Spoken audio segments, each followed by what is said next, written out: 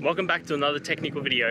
Today I'll be going through your question, answering it and hoping finding that solution that you're looking for.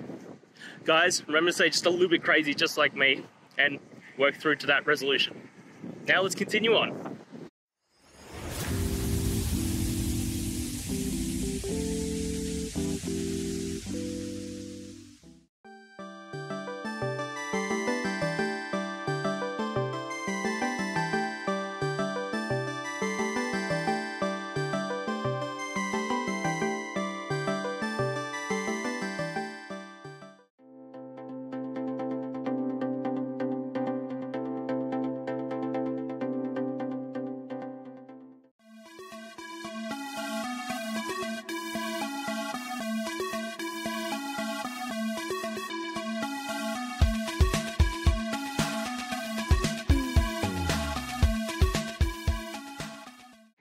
And that's it, guys. I hope the videos helped find that resolution that you're looking for.